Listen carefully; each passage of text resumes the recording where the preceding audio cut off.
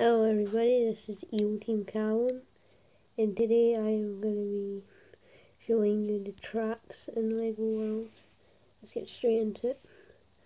So, the first one we got here is the tall spinning flame trap. It has like 8 flames that will damage the player. So yeah, that's the tall spinning flame trap. Next up is the explosive cauldron. That's exactly what it says. It will blow up, the players, and the explosive pumpkin just exploded too. Oh yeah, and that was a skeleton spawn too, but it got blown up. Next up is the spinning flame trap. Oh, I'm only on three hearts now. So yeah, it has four flames that go around. Then we have another one, which just shoots out one flame. And I just crashed into a saw blade. As you can see there, that was the saw blade.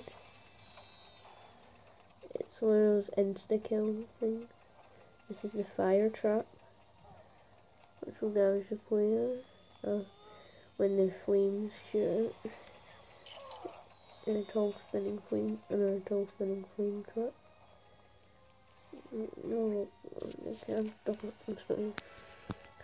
Sorry about that. Anyway, this is the campfire right here. I don't know why. The reason why it's a hazard, um, first you probably won't know it's a hazard, but if you walk into it, it damages you. And this is the bonfire as well. And another trap is the direction isn't way less explosive item. It's a of dynamite, so it isn't good. Next up is the spike trap, which will shoot out spikes, which will instantly kill the player. So watch out for this thing. Anyway, that's all from me. I just hope you subscribe, subscribe and like. Leave a, a dislike. Check out Bat Jamie as well. And bye.